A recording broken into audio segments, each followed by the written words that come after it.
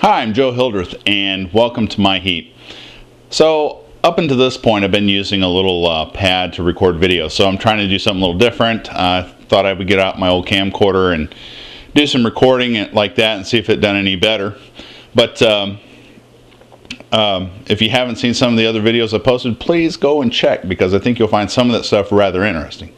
Which reminds me, you know, my wife and I, we have five kids, right? And uh, four boys and one girl. And when they were young, I would have traded that one girl for four more boys. But hey, that's beside the point. But anyway, I took them out to dinner the other night, and they're all they're all band uh, geeks, all music majors, you know, and so you can't ever sit down and talk to them without them wanting to talk about music. But I did learn something really interesting. So Mozart, Mozart, he was a famous composer, right? And anyway, one time he was commissioned by the French royal family to write a concerto. So there was a stipulation, though, that he had to stay on the property. Right? He couldn't leave the property until the concerto was written. It was secret. They were going to uh, play it to all their guests and that sort of thing.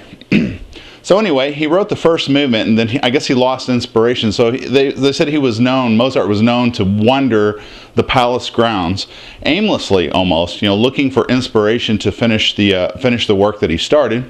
And then after about three weeks of this, the guards found him in the chicken coop, and he had murdered. Well, he had killed every chicken in the chicken coop and they pulled him out of there and they're like hey what's the matter with you? Why did you do that? And he says I, I, couldn't help myself. He says i was in a rage. I just just a rage. I, I, I, couldn't help it. He says yeah but why kill all the chickens? He says well i asked them who their favorite composer was and they kept saying hey look that was uh, dedicated to my twin brother uh, Buddy Bishop, uh, who shares the same birthday with me but different parents, but yeah, you figure it out.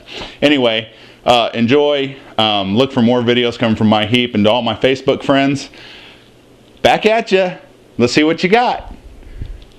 Bye.